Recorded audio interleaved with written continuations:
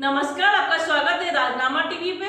मैं पूनम आपके साथ। भारतीय जनता पार्टी के प्रदेश प्रभारी लक्ष्मीकांत वाजपेयी ने प्रदेश अध्यक्ष बाबूलाल मरांडी पर लगे आरोपों को लेकर हेमंत सरकार पर निशाना साधा है। उन्होंने कहा कि सरकार हेमंत सोरेन की है, आरोप उनकी पार्टी लगा रही है।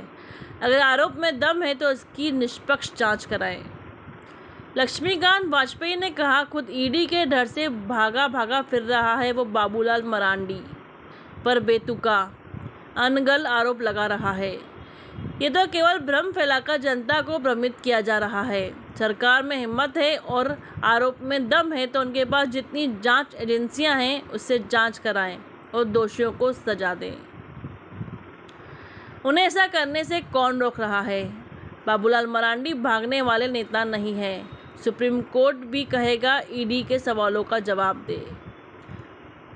लक्ष्मीकांत वाजपेयी ने कहा, दरअसल हेमंत सरकार बाबूलाल मरांडी की संकल्प यात्रा को मिल रहे व्यापक जन समर्थन से घबरा गई है। संथाल परंगना की जनता ने लाखों की संख्या में यात्रा में शामिल होकर सरकार की नींद हराम कर दी है, इसलिए सत्ता पक्ष बौखलाया है और मरांडी जी पर आरोप लगा रहा है। कि हेमंत सरकार ने पिछले साढ़े तीन वर्षों में केवल राज्य के खान खनिज बालू पत्थर ज़मीन को लूटा है। ये भ्रष्टाचार की बात अब गांव-गांव तक पहुँच चुकी है। इसी के साथ बने राजनामा टीवी के साथ, धन्यवाद।